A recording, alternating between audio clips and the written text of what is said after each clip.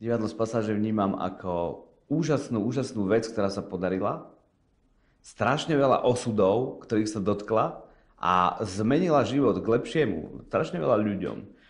A ja keď si spomínam na, na divadlo z pasáže, tak, tak e, nielen nie len na vonok, ale aj vo vnútri sa usmievam. My sme začínali spolu v roku 95, úplne na začiatku, keď Vierka prišla do ústavu. Takže si to pamätám úplne od tých prvých chvíľ, ako sa, ako sa objavila v ústave a tiež si pamätám na prvé reakcie hercov. Vtedy ešte, vtedy ešte neboli herci, vtedy ešte boli normálni klienti e, v ústave. Pamätám si na Ludku Balušikovú. A pri, e, chodili sme skúšať tú prvú hru, tak videl som, že ich to baví všetkých. Ale v, te, v tom čase, v roku 95, som si nevedel predstaviť, e, že ak, ako, ako bude divadlo pokračovať.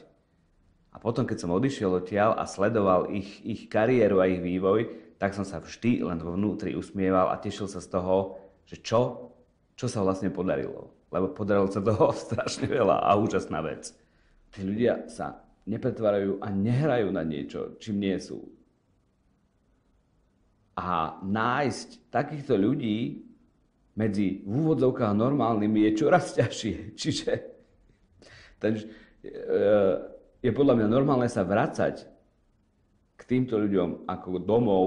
Taký pocit má niekedy človek, lebo naozaj e, je ich čoraz menej, čoraz menej ľudí, ktorí sa na, na, na nič nehrajú.